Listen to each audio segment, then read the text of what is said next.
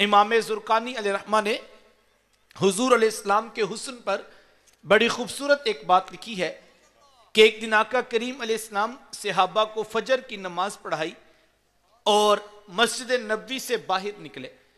चलते चलते मदीना मुनवरा से बाहर हो लिए। तो एक वादी के करीब से गुजर हुआ, जहाँ एक काफले ने पड़ाव किया था।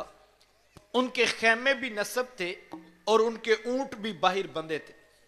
जब मेरे हुजूर वहाँ से गुजरे ना तो हुजूर इस्लाम की निगाहें एक सुर्ख रंग के ऊँट पे रुक गई।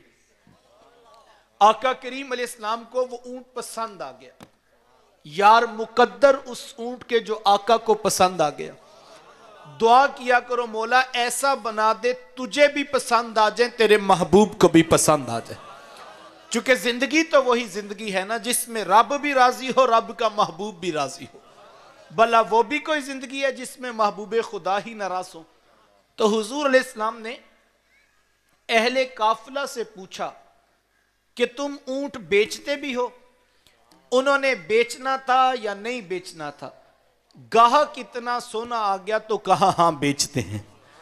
मेरे शेख तरीकत पड़ा करते हैं, नी, मैं दिल वेचा, मैं जिगर वेचा। जे प्यारा मुहम्मद आ जावे।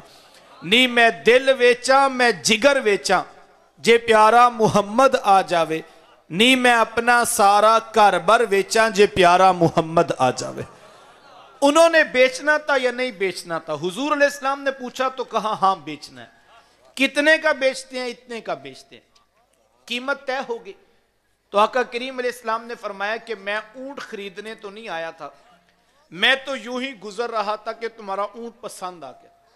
मैं तुम्हें जाकर इसकी कीमत बेच देता हूँ। उन्होंने कहा, ठीक है। और आप जानते हैं, जब किसी को बंदा नकद सौदा देता है तो उसका अता पता नहीं पूछा करता। लेकिन जब कोई चीज़ बंदा उधार देता है, या तो पहले से जानता होता है, या कोई शय गिरवी रख देता है, या कोई शख्स जमानत डाल देता है। अब हुजूर इस्लाम से पहली मुलाकात थी। जानते थे, कोई नहीं पता, पूछा, कोई नहीं, शय गिरवी रखी, कोई नहीं। हुजूर, बस इतना कहा कि तुम इंतज़ार करो, मैं आकर तुम्हें कीमत बेच देता हूँ। उन्होंने कहा, ठीक है।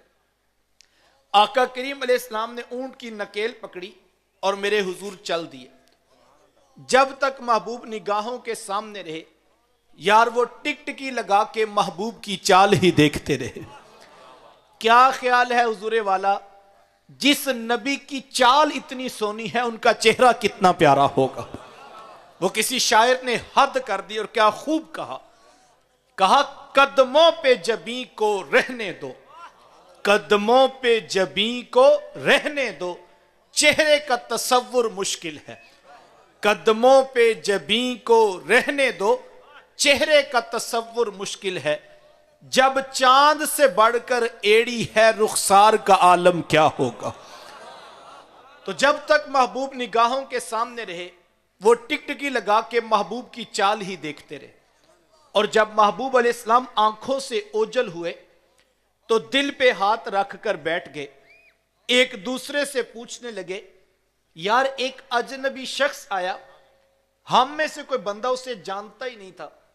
यार को इसका पता ही पूछ लेता। एक बोला, वैसे जब बात करते थे ना तो मुँह से फूल जड़ते थे। मैं तो उसी मंजर को देखता रह गया।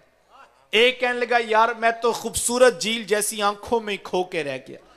क्या खूब सजन दिया अखियाँ ने, जेवे पर के सुराइया रखिया ने। आँखें क्या कहूँ जैसे बाबे हरम खुला हो। किसी ने बाजू पकड़ा और कहा, मियाँ, तू बड़ा सियाना बनता था।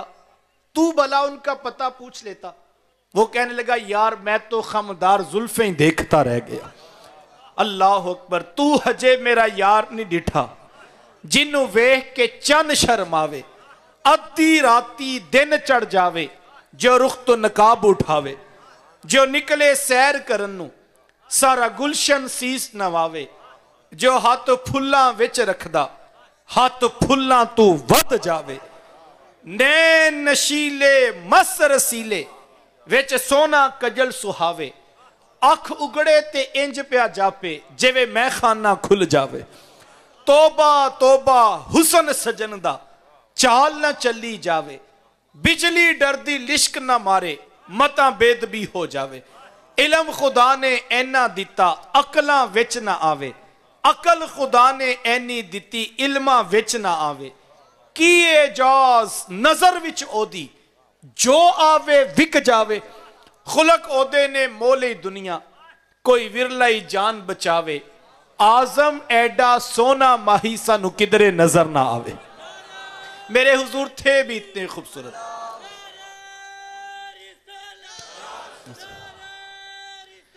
मेरे हुजूर थे भी इतने खूबसूरत। अभी वो ये बातें कर रहे थे कि जब होश आया, सकता टूटा।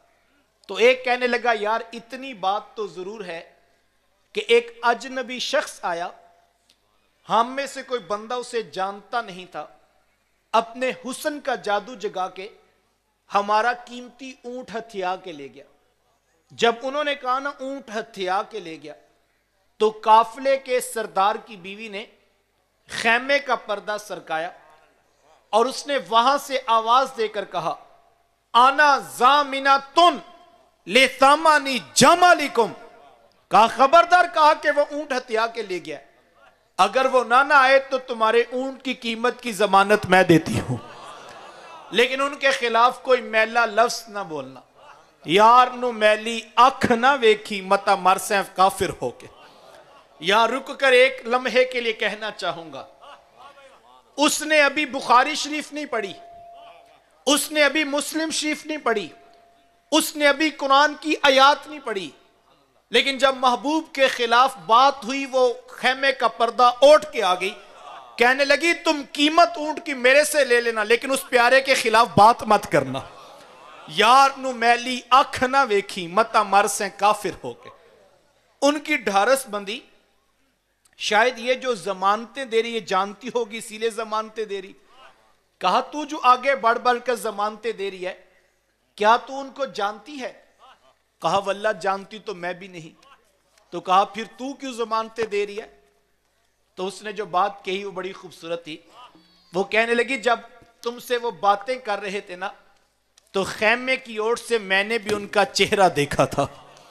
और मेरा दिल गवाही देता है, इतनी सोनी सूरत वाला कभी झूठा हो ही नहीं सकता है। देखने वाले कहा करते हैं, अल्लाह अल्लाह। देखने वाले कहा करते हैं, अल्लाह अल्लाह, याद आता है खुदा देख के सूरत तेरी। अल्लाह ने चेहरा इतना खूबसूरत बनाया था। अभी वो ये बातें कर रहे थे कि हुजूर इस्लाम के सिहाबा पहुँच गए। कहा, ए अहले काफला, हमारे आका ने ऊँट तुमसे खरीदा कहा हाँ हमसे खरीदा कहा, ये खजूरें तुम्हारी जियाफत के लिए भेजी हैं और ये खजूरें महबूब ने भेजी हैं। इनसे अपनी कीमत पूरी कर लो। वो कहने लगे, कीमत बाद में पूरी करेंगे। पहले ये बताओ, वो प्यारा रहता किधर है? कहा, यही खजूरों का झुंड, जिसे जमाना नखलस्तान मदीना कहता है यह उस प्यारे का डेरा है। इमाम जुर्कानी फरमाते हैं, सारे अहले काफिला उठे और हुजूर इस्लाम के कदमों में बैठकर दौलत इस्लाम से फैज याब हो गए। तेरी तक के अदावा में मुरीद हो गए। मज़ा तो इस बात का है ना? हम तीन घंटे तकरीर करें, लोगों के अकायद में जबर और जेर का फ़र्क ना पड़े। ये मेरी औकात है, ये आज के खतीब की हैसियत। है लेकिन साहिब, मेरे हुजूर तकरीर ना करें। हाँ हाँ वही से मुजयन दलाइल नबूवत ना पेश करें, बल्कि सिर्फ़ खामोशी से ऊँट खरीद के चले जाएँ। यार, लोग कलमा पढ़ते पीछे मदीने पहुँच जाएँ। फिर कमाल है मदीने वाले का या के नहीं इसीलिए मेरे शेख तरीकत पढ़ा करते हैं, डिठे वरक फोल कुरान दे सारे। तेरी शान जिया नहीं कोई होर डिठा। तेरी शान दा करे मुकाबला जेड़ा। ओनू आशका असली चोर डिठा। कोई नूर आखे, कोई बशर आखे, पैंदा रात दिने एहो शोर डिठा।